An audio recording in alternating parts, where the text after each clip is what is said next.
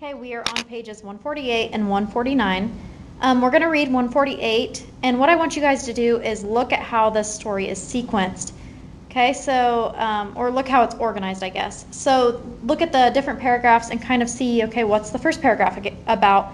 Um, and then what's the second paragraph about? And what's the third paragraph about? And kind of um, try to find a difference between those. Just see how this author organized this um, part of the story. Okay? So the Badger Pass, I want you guys to read along with me, um, or follow along with me at least. So um, we're going to begin with Badger Pass. The first tourists arrived in 1855. They traveled on horseback. I wonder if they were as amazed as I am by the first glimpse of the scenic park.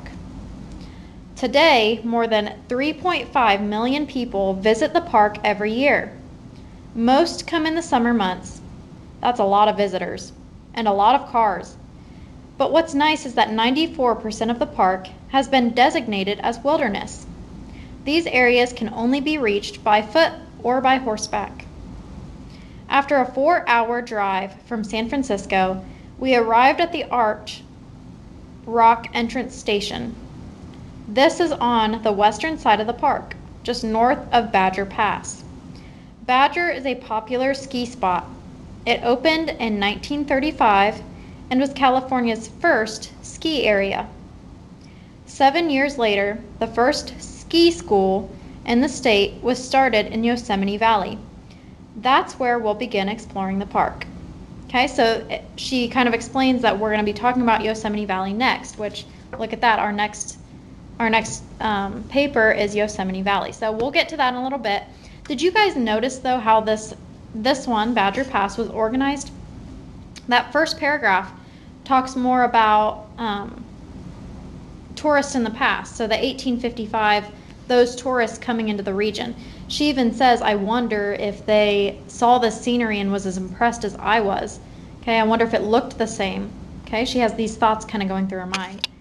And then the second, and even really the third paragraph, kind of explains um, more of the tourists now. So, why do you think the author organizes it in this way? Why do you think he or she goes from talking about the past, the tourists in the past, to now talking about the tourists in the present or the tourists now? Why do you think this author organized this text, or why do you think she structures it this way?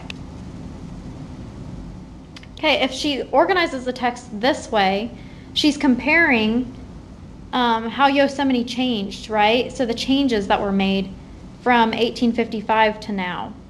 Okay, it talks about in 1855 they traveled on horseback. And she says she wondered if the first glimpse of the scenic park was as um, as neat or as impressive as it was now, because it's pretty impressive now. And then she also says now um, there are some places you can only get by foot or horseback. So comparing there, they still use those horses to kind of travel through the area just like they did back then. But it also explains that um, they can drive too. So that four hour drive from San Francisco. So the driving too is a little bit different. So really just the comparison and comparing and contrasting of that that whole um, passage helps us to kind of understand the changes that were made throughout the park. Okay, let's go on to 149, and this one's called Yosemite Valley. So Yosemite Valley is only seven miles long and one mile wide, but it's where the most services are. Our campground is here, and so are many of the park's best natural attractions. It's the most heavily visited part of the park. Today we learned about the Miwok and Paiute people and about the natural history of the park. Then we hopped on the shuttle bus to see famous sites like Yosemite Falls, El Capitan, and Happy Isles. One of my favorite places was Mirror Lake, where we saw Tenaya Canyon reflecting in the water. Okay, so Mirror Lake, why do you think they call it Mirror Lake? So mirrors reflect, right? And they're saying that this whole big canyon reflects from the water. So if you would look in the water, you could see the canyon just reflecting. So she compares that, or um, the name kind of compares it to a mirror, how a mirror reflects you, the water reflects the canyon. So she says how cool that is. Um, we are on Bridal View uh, Creek or Fall.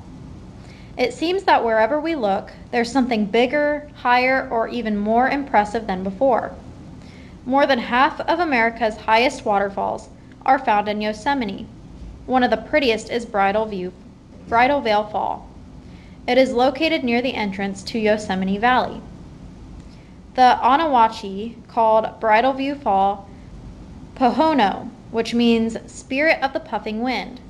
Sometimes hard winds actually blow the falls sideways. I'm glad I brought my raincoat because we got soaked by the spray on the way up. The waterfall is 620 feet high. That's as tall as a 62 story building. This author, I feel like, is very good at comparing things, right? She compares the size of things a lot to different states, and even here she compared the size of that waterfall to a building, something that we might be more familiar with. So a 62 story building is, um, if your school is two stories, so there's an upstairs and a downstairs, that would be two stories. A 62 story building, that would be 62 stories high. So can you imagine how high that would be? Um, what do you think the author's opinion is of this Bridal Veil Creek or Fall? Just by hearing or reading what she says about it.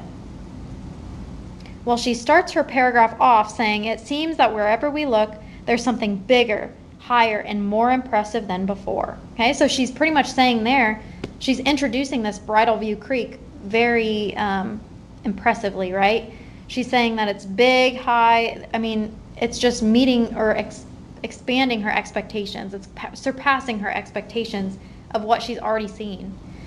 So she's saying how impressive impressive it is, and then she also says it's one of the prettiest um, views.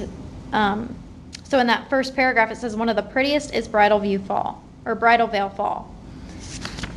Um, so yeah, she has very, um, she speaks very highly of this Bridal Veil Fall. She is very impressed by it, and we know that just by some of the things that she says in this in this piece of paper that is labeled Bridal Veil Fall. So we know that that's what she's talking about. Now, why did I want you to go back in your text right under that bridal veil fall again. Why did this group of people, those Indians, call um, bridal veil fall? They called it Pohono, which means spirit of the puffing wind. Why did they call it that? Go back in your book and look. It says it says why they called it that. Okay, so it says sometimes hard winds actually blow the, the falls sideways. So these winds would be so hard it would make these waterfalls. If you look on page 149, that's what a waterfall is, that Bridal Veil Fall. And it would blow all of that water so it would be more at an angle. So it would kind of move it off track. Those winds were so hard that it could do that. That water was really gushing down and those winds were so powerful that they could they could blow that fall into a different direction. Okay? So go ahead and go to the next pages or the next slide and we will read the next two pa- two pages.